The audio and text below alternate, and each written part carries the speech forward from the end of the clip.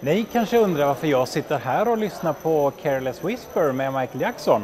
Anledningen är helt enkelt den att eh, de studenterna från eh, digitala medier här på Högskolan Väst som eh, spelar in den här föreläsningen hade det som motkrav helt enkelt. Musiken har tystnat och vi kan kanske börja med något annat. Hej och välkomna, jag heter Christian Olsson och i den här modulen i kursen så ska vi ta och prata om ramverk i eh, HTML5. Kan då ställa sig frågan, vad är då ett ramverk i HTML5? Och faktum är att svaret på den frågan är ganska bred. Det finns nämligen nivåer av ramverk. Det finns ramverk som är enormt stora som innehåller UI-komponenter och så vidare som du kan använda till vad som helst nästan. Sen finns det ramverk som befinner sig lite grann i mellanskiktet och ramverk som är ganska små och tunna av sig så att säga.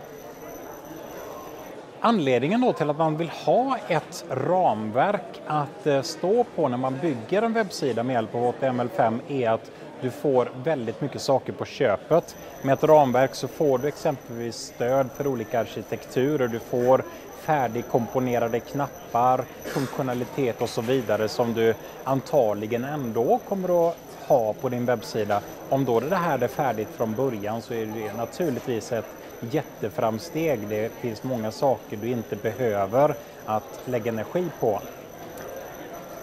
Upplägget för dagen kommer att vara som så att vi först ska prata lite allmänt om eh, ramverk, vad ramverk är och lite grann vad det finns för olika typer av ramverk. Och när vi har knäckt av den där biten så kommer vi att testa på en del olika ramverk. Jag kommer att sitta och göra en eh, webbsida som jag har hittat på en layout för. Sen kommer jag att göra den här webbsidan i eh, några olika ramverk, exempelvis Foundation, Skeleton och så vidare. Tanken är att eh, under tiden som jag sitter och kodar så får ni väldigt gärna testa själva också. Ni eh, kommer inte att lära er någonting om ramverk i HTML5 om ni inte har testat själva. Så det som jag kodar, det kodar ni också, så är vi alla på samma bana så att säga. Jag kommer att gå igenom flera olika ramverk idag och eh, när ni väl börjar att arbeta och när ni professionellt ska tillverka era webbplatser så gör ni naturligtvis inte på det sättet. Olika ramverk funkar på olika sätt och man har olika ord för, för eh, samma sak och sådär.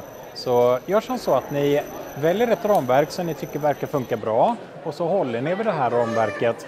Eh, det kommer att göra att eh, webbprojekt nummer två, tre och fyra kommer att gå allt snabbare att få fram eftersom ni redan kan alla ord så att säga. Så kom ihåg att koda mycket själva under den här modulen. Det är så ni lär er så att säga. För att runda av det hela, när vi är klara med den här modulen så kommer ni alldeles själva att kunna veta vilket ramverk som ni ska köra på för olika situationer. Och ni kommer att vara lite grann bekanta i alla fall med vilka ord som används i vilka ramverk och hur upplägget är på de olika ramverken och lite grann vad de olika ramverken kan. Eh, med det tackar jag för mig och eh, så tar vi och sätter igång med den här smaskiga dagen med hjälp av HTML5 och ramverk.